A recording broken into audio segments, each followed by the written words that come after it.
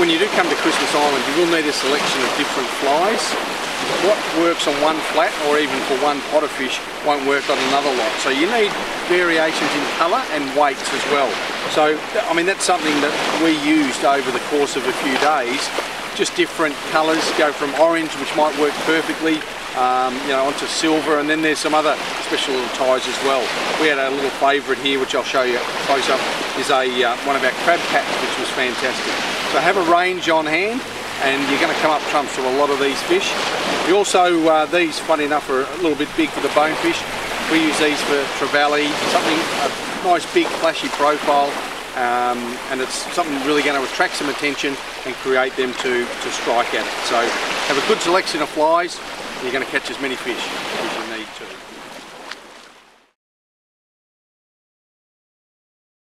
Small crab patterns like this one work extremely well, and when combined with an assortment of mini Clousers and crazy charlies like this orange one, you have most of the tools you need to fool any bonefish.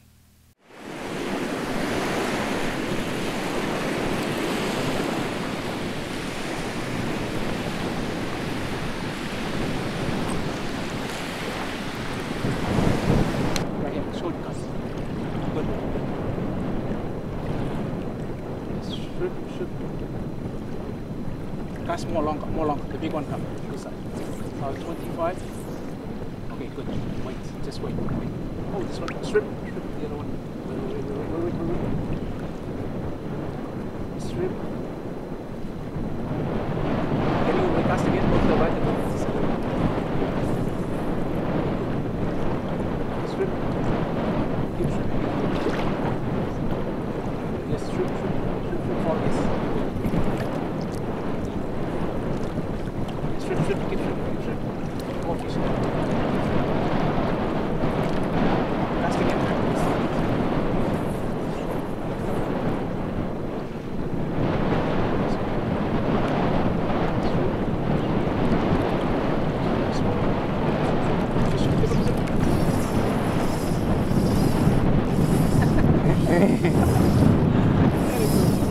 Many of them, many, many fish. Yeah, they like to fly, they like that. It's a Christmas Island special on that English, isn't it? That we changed fly a couple of times and it made the difference. Yeah, a little bit different. But you lost your mojo there for a little while, Al. Yeah, I was getting worried. It's there somewhere. After the initial run there, I've uh, just rewound the backing on. Now I've got my fly line back and uh, could probably do that another couple of times yet.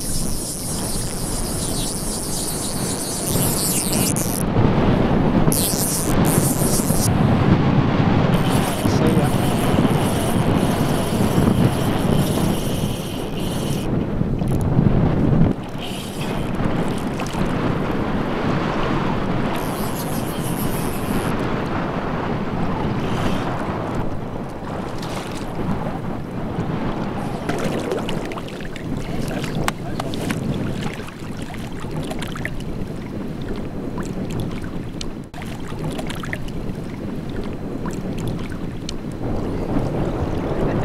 Very nice. Just amazing. There's that, that mouth with that Christmas Island special.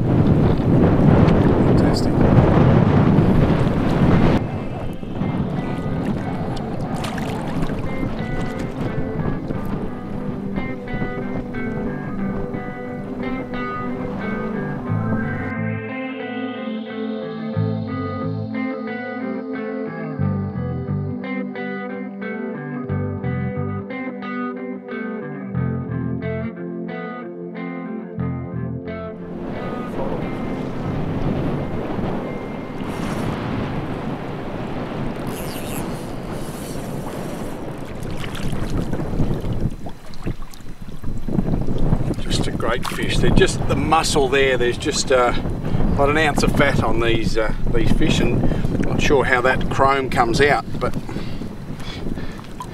just amazing. So when they're, they're front on, you can see them. They're quite. This one's quite light. Sometimes they go green, but when they turn side on, just this reflects all the um, the sand, and uh, you just really can't see them. But you just don't get sick of catching them. Don't get sick of catching them.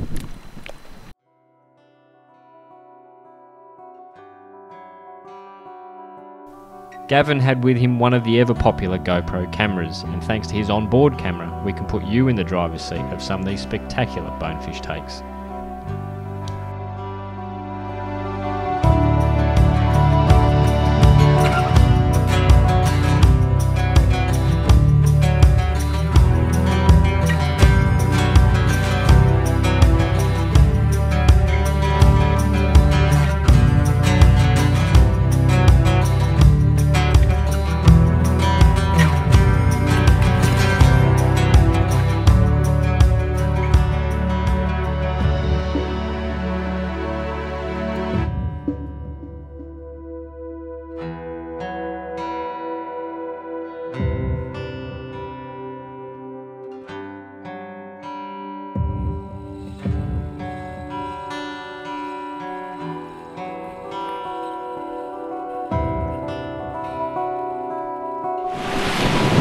Now it's pretty important when you're, you're in Christmas Island chasing bonefish that you've got the right gear. So we tend to use like an 8 weight, something with a, a, a bit of power because you can quite often uh, have a bit of wind as well. So we get an 8 weight and like a decent reel. It's got to be a good waterproof drag because they do give it a workout.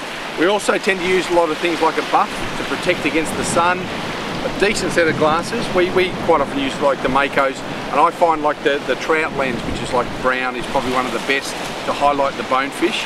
Uh, and quite often we'll just use like a little bum bag as well, which is just handy to hold all your gear and uh, very important too, a water bottle holder. So uh, you need to drink a lot of liquids when you're here as well, so that make sure that you're not dehydrated uh, and you're just going to love it. So get the right gear and it's going to really improve your fishing, make it a lot more fun. Well, I hope you've enjoyed this week's episode of On the Fly. Christmas Island is just an amazing place. And from a fly fisherman's perspective, it's just awesome.